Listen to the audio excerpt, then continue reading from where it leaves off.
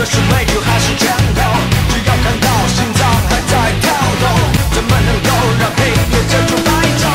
谁叫爱恨都是相守？là fan của Thành Long nữa cho nên suy nghĩ đây sẽ là một cái phim mới rất là thú vị rất là thích Thành Long mình hy vọng là một bộ phim này nó nó sẽ hay và có nội dung hấp hấp dẫn lâu lắm rồi tôi mới được xem phim này ở tại rạp à, tôi mong rằng à, phim này đóng vừa hành động mà vừa hài hước đang rất là hồi hộp không biết lần này anh Thành Long sẽ đem đến cho mình những cảm giác như thế nào. Hy vọng là sẽ thỏa mãn được cả tất cả khán giả. Please freeze! How many cops die in a year? Hostages. Get back! Or she dies with me! Three minutes and counting. It's a hell of a deal.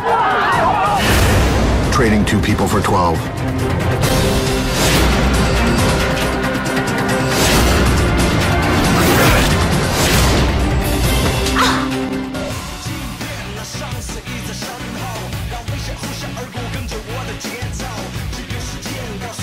phim à, rất là hay mang đậm tính nhân văn thật ấn tượng Cái câu chuyện rất là cảm động, thú vị và rất là hứng thú. rất hay với hồi hộp